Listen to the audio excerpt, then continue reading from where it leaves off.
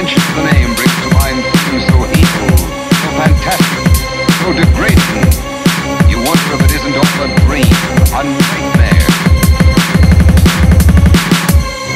The very mention of the name brings to mind things so evil, so fantastic, so degrading. You wonder if it isn't all a dream, a nightmare. But no, this is no dream. This is Dracula.